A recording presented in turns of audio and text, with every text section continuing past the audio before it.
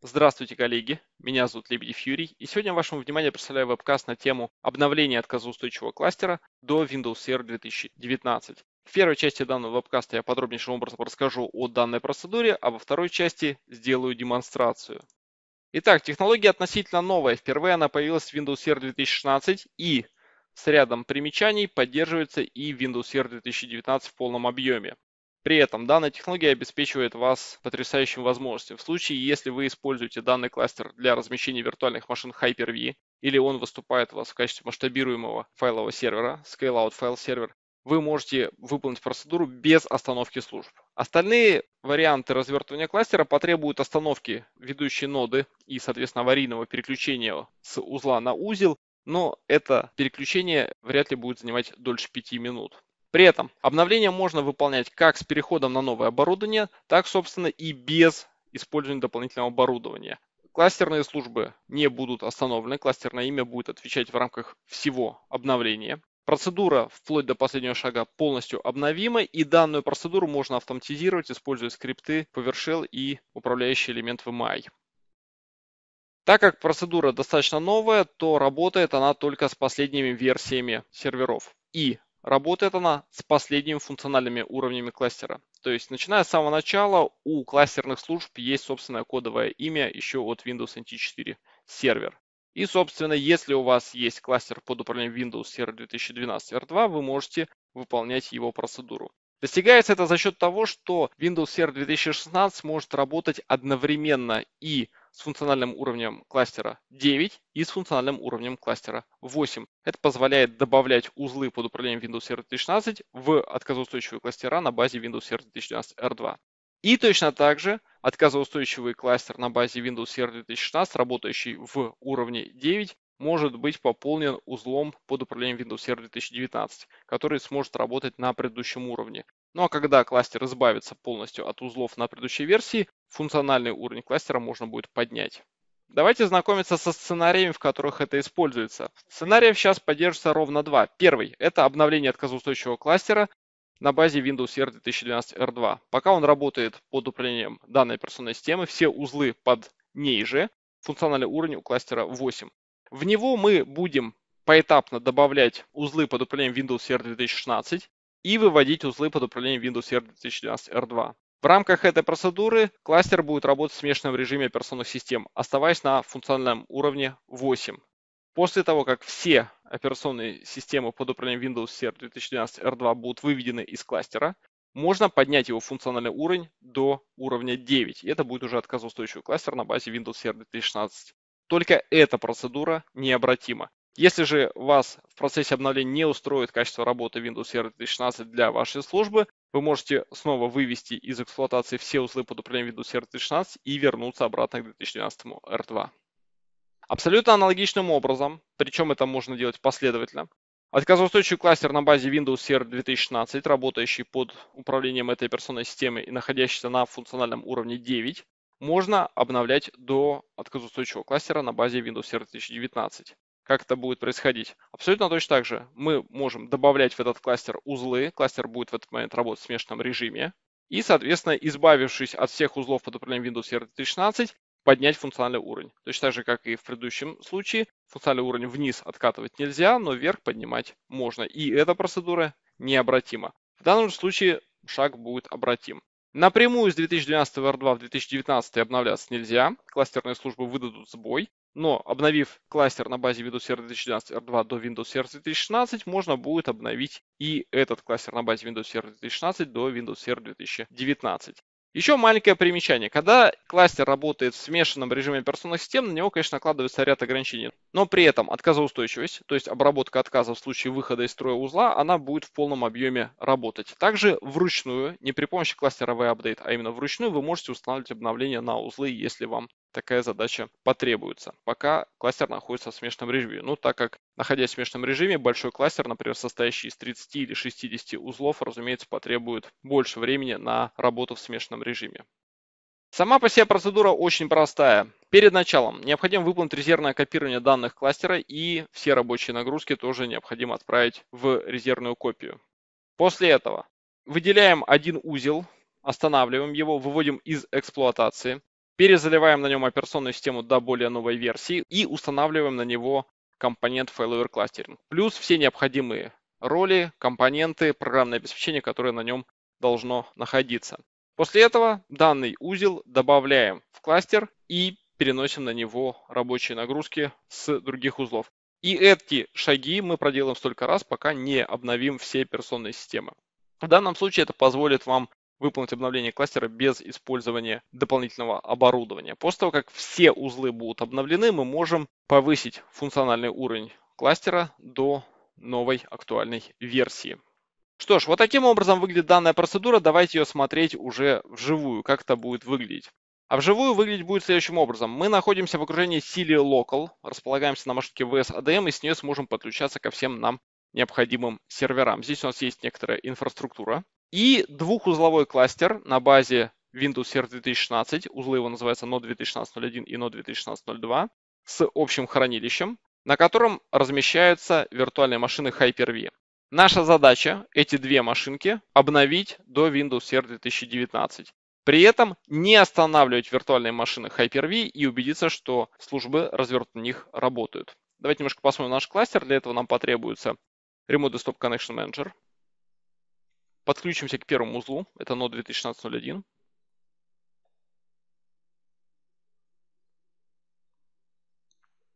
Подключимся к нашему кластеру. Для этого нам потребуется Failover Cluster Manager, то есть диспетчер отказоустойчивых кластеров.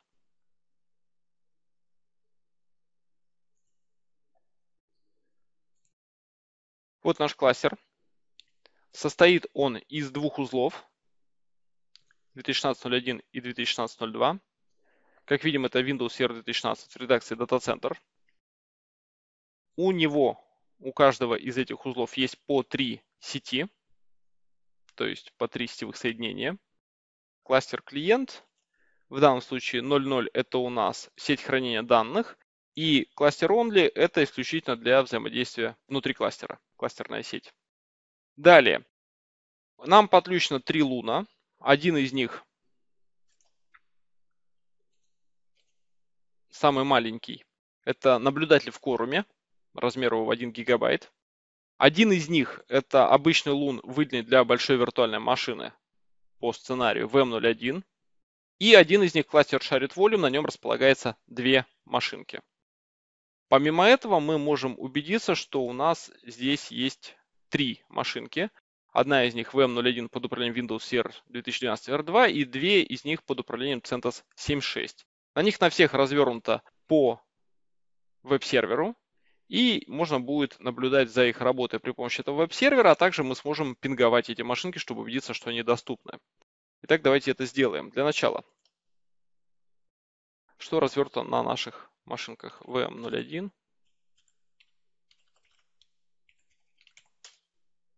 Сили Local. Это Windows Server 2012 R2, машинка VM01. Вторая машинка.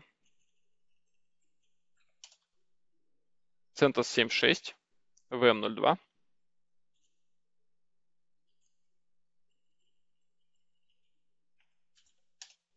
И третья машинка, VM03, тоже CentOS 7.6. Ну и для того, чтобы убедиться, что все они работают, мы будем использовать командную строчку и старенькую команду ping.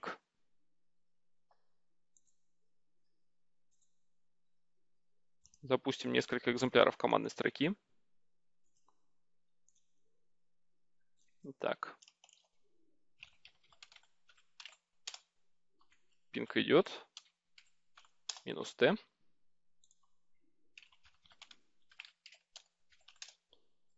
Вторая машинка. Третья машинка. Третья вторая, первая и в обратном порядке первая, вторая, третья. Отлично, отсюда будет прекрасно видно, что пинг идет. Ну, а для демонстрации, что это отказоустойчивый кластер, мы сейчас мигрируем VM01 на второй узел.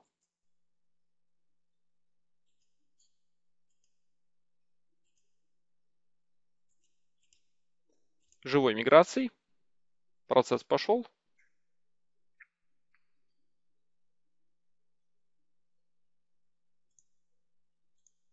и можем убедиться.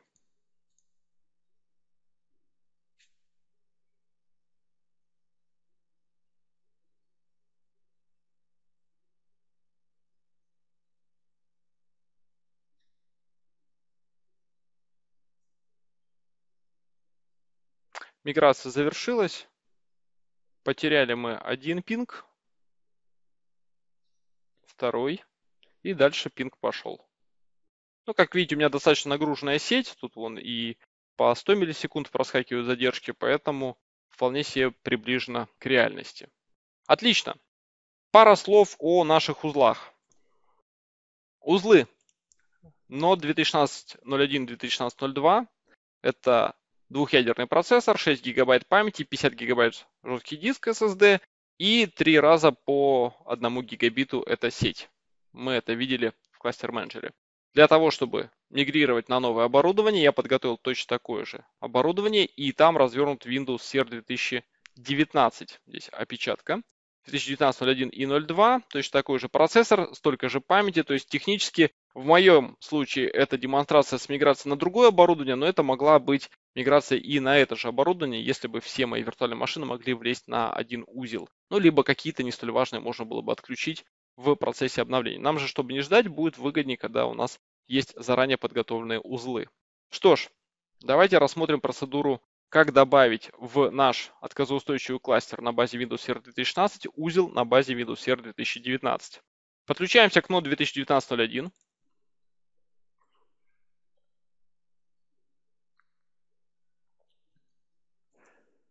Здесь уже установлены компоненты Hyper-V и Failover Clustering, но здесь еще не подключены мы к общему хранилищу а к нему придется подключить для того, чтобы добавить этот узел в кластер. Запускаем инструменты. Нам потребуется iSCSI инициатор. Служба не запущена. Запустим ее. И теперь подключимся к нашему хранилищу. Его IP-адрес, IP-адрес таргета 01, Quick Connect. Он находит наш таргет есть подключение. Видим, что у нас там три луна. Окей. Переходим в File and Storage, выбираем диски. Сортируем их по порядку. Первый 1 гигабайт переводим в онлайн. Yes. Второй лун на 50 гигабайт в онлайн. Yes. Третий лун. Еще на 50 гигабайт тоже переводим в онлайн. Yes.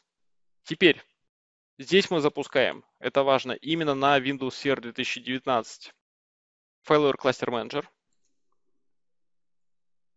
Нам предлагают воспользоваться Windows Admin Center. Это пока нам не потребуется. Это тема скорее для отдельного вебкаста. И подключимся к существующему кластеру. HVFC01 силе local. Подключаемся. Есть подключение. Видим наш двухузловой кластер. Выбираем узлы и добавляем себя.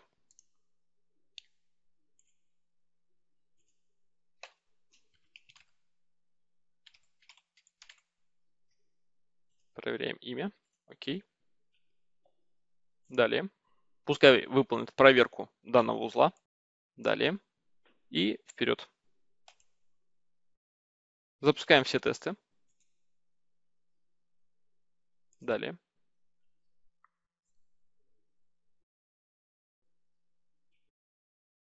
Все тесты успешно пройдены. Есть несколько примечаний по поводу версий программного обеспечения. Это связано с тем, что у меня узлы работают под разными операционными системами. При этом пока велось тестирование, у меня по-прежнему все мои виртуальные машины доступны и отвечают по ICMP и, соответственно, сайт, на который они крутятся, тоже доступны. Отлично. Завершаем тестирование, финиш. И добавляем узел. Можно снять галку по поводу добавления всего подходящего хранилища в кластер, так как у нас нету нового хранилища для этого узла. Далее. И мы увидим, что вон у нас на заднем фоне происходит подключение узла в кластер. Готово. Кластер успешно подключен. Как видим, он здесь находится. С ним все хорошо. И мы уже можем переносить часть нагрузок на этот узел. Посмотрим на роли. Первым будем выводить из эксплуатации Node 2016.01, поэтому давайте сейчас при помощи живой миграции перенесем туда VM02. Move, Live Migration.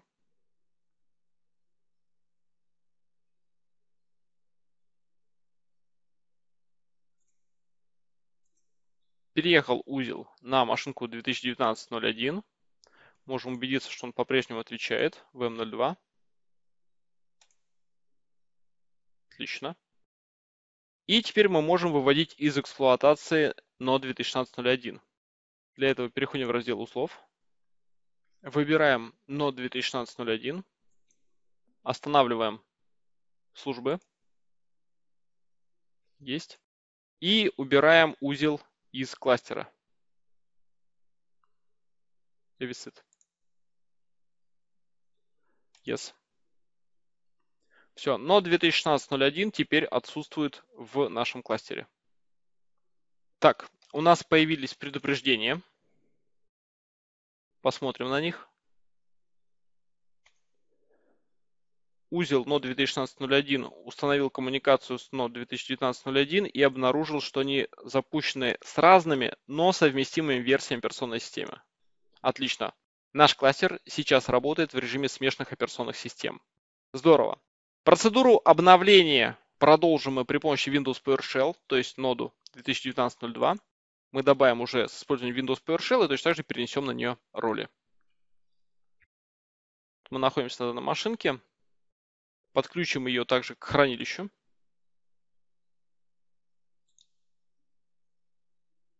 Запустим службу iSCSI инициатора. Указываем таргет есть подключение. Видим три наших диска. Используем диспетчер сервера.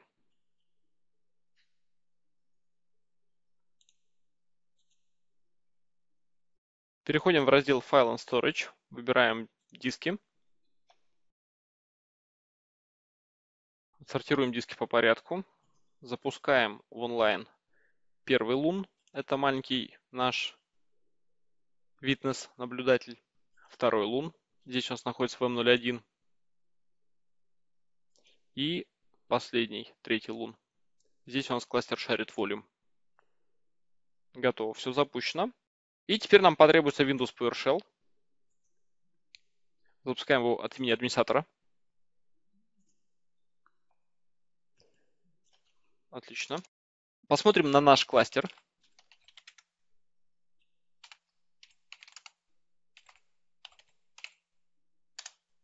Вот он.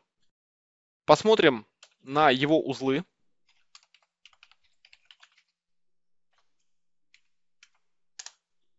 Вот они.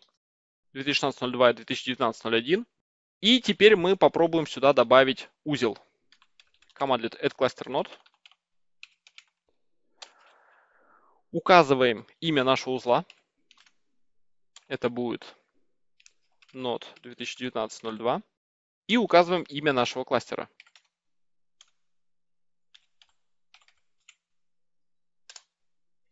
Запускаем процедуру обновления.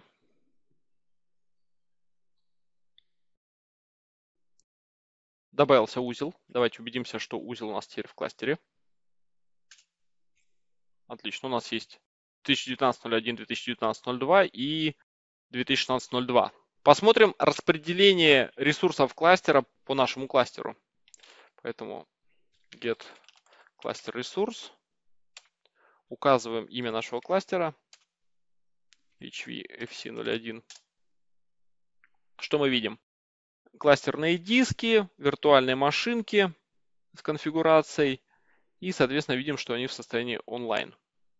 Здорово.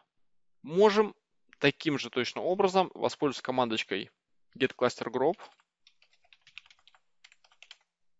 и также обратиться к кластеру HVFC01.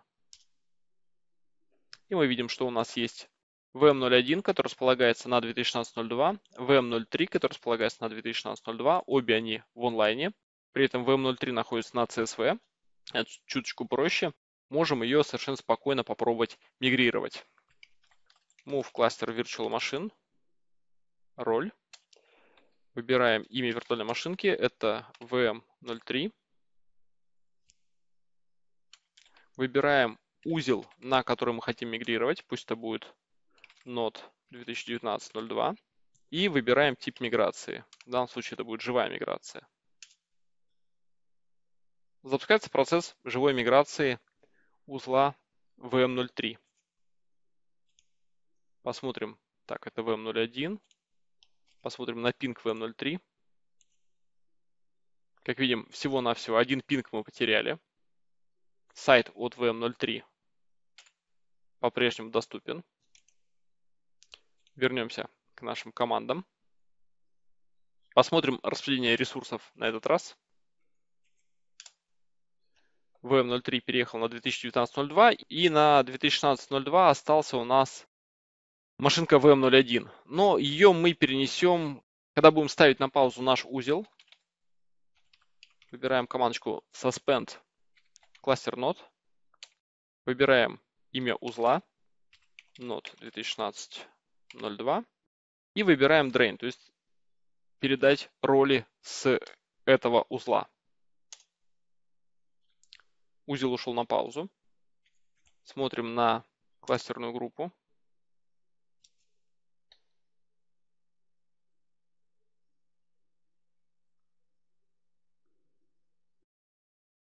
Что мы здесь видим? VM01 переходит на 2019.01 и находится в режиме ожидания.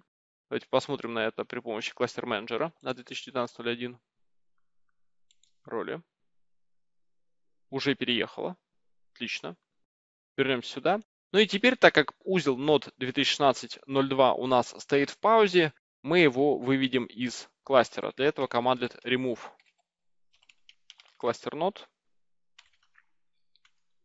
Указываем имя узла. В принципе, кластер уже можно не указывать, так как мы на нем находимся на одном из узлов этого кластера, он его найдет. Удалить, да узел удален. Можем посмотреть на get cluster. Как видите, по кластерному имени HVFC01 он по-прежнему отзывается. И узлов у него теперь два. 2019.01 и 2019.02. И вот единственная процедура, которая у нас осталась, это посмотреть, на каком уровне наш кластер работает. Смотрим. Get cluster. Имя HVFC01. Выбираем свойства. Например, возьмем name и cluster functional level. HVFC 01, уровень кластера 9. Отлично. То же самое, но выполняем командлет update cluster functional level.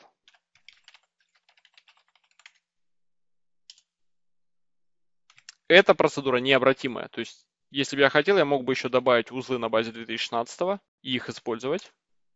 Но вот уже эту процедуру отменить не смогу. И смогу добавлять в этот кластер только узлы на базе Windows Server 2019. Ну или когда выйдет следующий. Вновь проверяем функциональный уровень. Как видите, теперь это десятка. Отлично. Берем сюда. Сделаем здесь рефреш. Наши виртуальные машины по-прежнему все доступны. Как видите, все они пингуются. Все отвечают на пинги. Все они предоставляют ресурсы. На месте два узла нашего кластера. И все наши луны переехали на наши новые узлы. Ну, единственное, что вам нужно в разрешение на iSCSI таргете добавить будет свои новые узлы. Это можно сделать заранее на вашем хранилище. Отлично, подведем итог. Вот таким вот образом происходит обновление кластера. Мы поговорили о том, что это такое, как это делается, что такое функциональный уровень кластера, какие поддерживаются сценарии обновления. Ну и, собственно, всю процедуру обновления кластера мы только что посмотрели. Добавили узлы, перенесли нагрузку, вывели узлы из эксплуатации.